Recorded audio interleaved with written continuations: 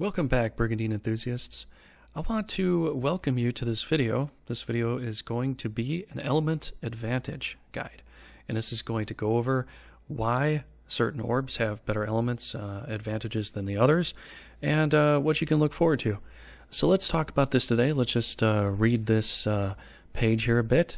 Start up at the top. It says uh, classes, skills, magic, and equipment often have elemental effects.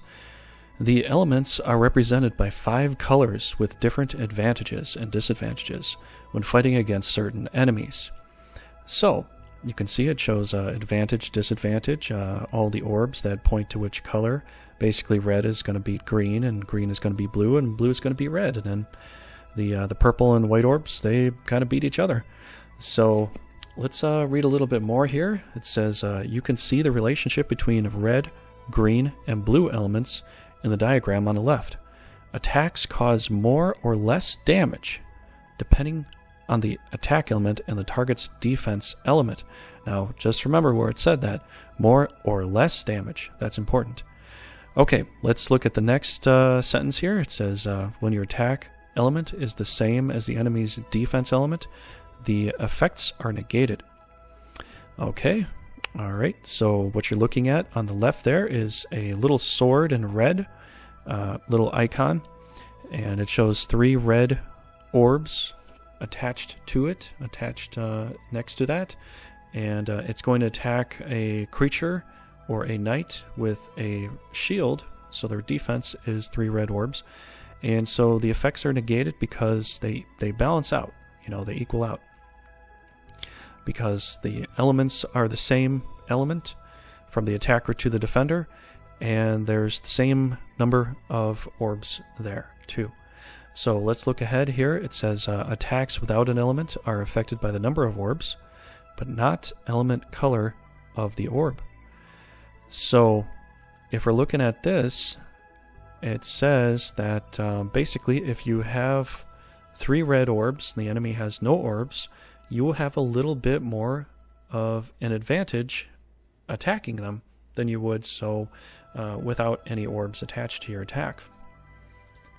Okay, so let's look at the next page here. It says weak effect and strong effect.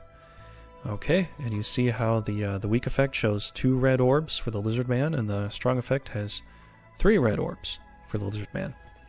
Okay, now, it says here the strength of elemental damage depends on the number of colored orbs. So that's important. In a unit's possession, if both units have red orbs, then a unit with three red orbs will have more of an effect on damage than a unit with only two. Okay? Now, what you're looking at here, if you look at the, uh, the little diagram down on the bottom, it shows the attacking element, and you're going to see that with a sword with red coloring in a background as far as the icon goes. The fence element is going to have a shield with blue coloring in the background as far as its icon goes. And so when you're matching up a monster against another monster, you have to look at what you're going to do to them, but you have to look at what you're going to do with your attacking orbs versus their defending orbs. That's the important key. So it says here, each unit is affected by two slots an attack element for dealing damage, and a defense element for defending units, or for defending. Units can equip up to nine elements in each slot. Okay, well, let's, look at this page here. Class elements. Each knight class or monster has its own element. Changing a unit's class will also change its element. More advanced classes may add more orbs of the same element or even a different element.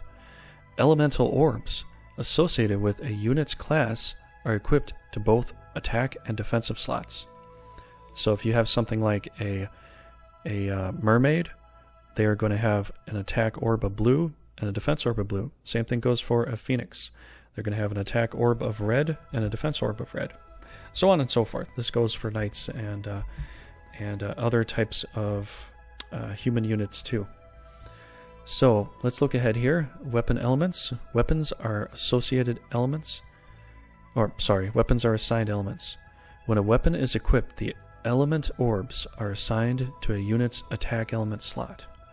Armor is also assigned elements. When armor is equipped, the element orbs are assigned to a unit's defense slot. Some accessories can affect both attack and defense elements. Now, some armor pieces and some attack pieces do not have element slots to them, so just to take that as a note here. Let's move on to the next page. Okay, let's check out this page here. And so I'm just going to go over this very quickly. It says set your attack element to one that has an advantage over the enemy's defensive element in order to deal greater damage. And you can see how an attack element on the left and what it's going to do to uh, various defense elements and scenarios on the right. And so, a very easy way to look at this is that um, basically orbs will give you plus 4% or plus 2%, depending upon what you're doing. Uh, 2% is just kind of the average. 4% is for an advantage over another element. And so we're just going to look at this and just add up some numbers here. So if we look at white versus uh, blue, white doesn't beat blue, but um, if white were to attack a uh, elemental slot that had no orbs in it, we would just have to add 2% each way. So one white orb would be 2%, another one would be another 2, adding up to 4, and a third orb would be up to 6%. You know, versus a blue orb uh, uh, defense that has three blue orbs, which would be 2, 2, and 2. So 2, 4, and 6 minus another 6 would just make it pretty much nothing. So, you know, it would just kind of equal out there.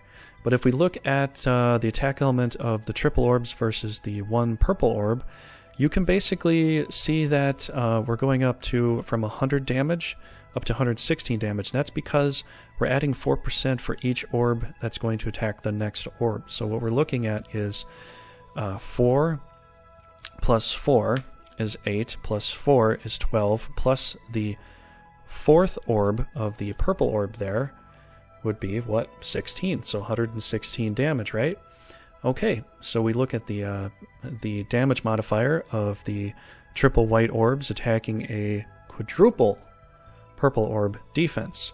And so if you add those numbers up you get 28 so 4 4 4 of the white orbs would be 4 8 and 12 plus another 12 which would be 24 which you add another four points to the 24 and you get 28. So essentially, you're just adding up percentages. This is just an easy way to look at it and to just kind of understand what's going on. But can you get negative modifiers? Yes, you can in a game.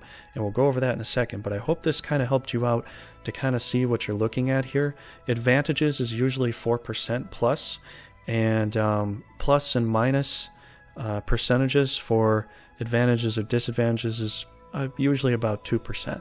So you're really just adding another 2% or another 4% on top of it to see what the extra damage that you can do or the damage that you um, will fail to do because you're attacking a, a creature, a knight, a monster, whatever that uh, is strong against your elemental advantages. So let's go on to the next page here. Let's talk about this a little bit more. Okay, so what it says here too is uh, element correlation. Attacking with a favorable element deals more damage. Red is weak to blue. Blue is weak to green. Green is weak to red. Black and white are weak against each other. Okay? Cumulative effect of elements. An element's strength is determined by how many of that color you have. The higher the number, the higher the damage. This applies to both damage dealt and damage taken. No element bonus.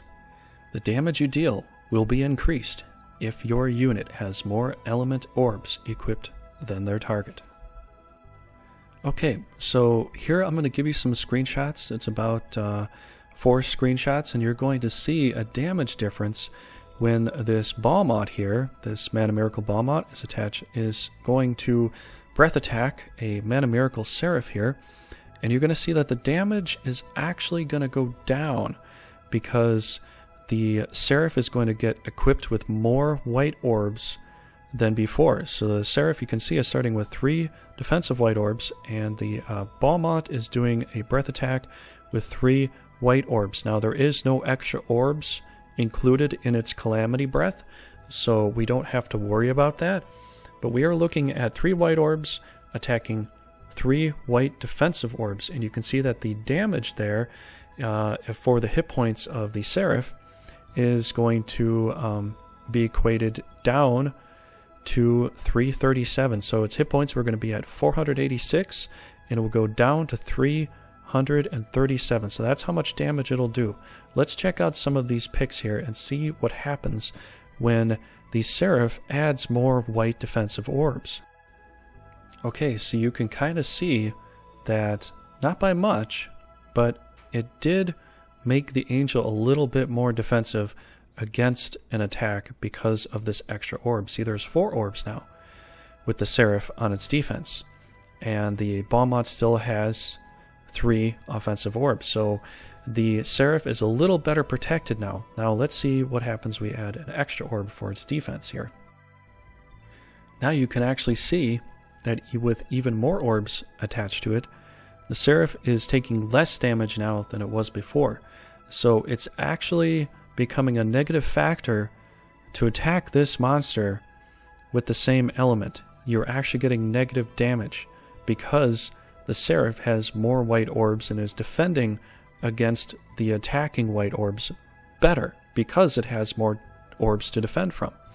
So having more orbs of that same color and uh, being attacked from that exact same color will help you defend against an attacker a little bit better. Now, let's move on to the last picture and just uh, see what happens if we add, I don't know, six orbs. Okay, so now we can see that with six orbs, you can see that the uh, the damage is significantly less than it could have been. And um, so, really, just the point of this is just to say that uh, if you want to defend better against a particular element, uh, monster, or knight, just keep stacking those same color orbs and uh, you'll be better protected against damage from that particular knight. Um, I could mention a particular knight named uh, maybe Rudo, Rudo from uh, MST. I don't know, but uh, you know you'll be better defended, you know, with more orbs in your defensive positions. Although, if you got attacked by something with a black element, uh, that could probably hurt a bit more. So, this is just a, a guide for this, a guide for the Element Advantage. And I hope you enjoyed. You know, I'm going to leave some links down below for the particular people that uh, put up some uh, PDFs and some files to share some real intricate uh, details as far as how the elements and orbs work. But the 2 and 4% uh, is basically just kind of like a, a mental thing that I use to try to figure some of this out. And so far, so good. So this was my guide for you. I hope this helped. And uh, if it did, please leave some likes. Leave some comments down below. Uh, let me know if I could improve on some of these kinds of videos. And uh, I will talk to you in the next guide video. Thanks for watching. And if you have any suggestions or anything like that, definitely leave that down below too. I will get back to you and uh, we'll continue from there. And uh, if you want to see another video where I did a, a a numerous amount of extensive tests uh, with, uh, you know, attacking and, uh, you know, calculating orbs and damage and stuff like that. I can leave a video for that if people want to see that. I'll probably leave an unlisted video, but I'd like I'd like to have some people uh, ask me for that so that in case they want to see it, I can do it because I still have the video. But um, you know, that'll be for people that want to kind of see the damage more, you know, see see what happens with the attacks of uh, the elements and all that uh, in full detail. So, anyways, I will let you go. Thanks for watching, and I'll talk to you in the next video.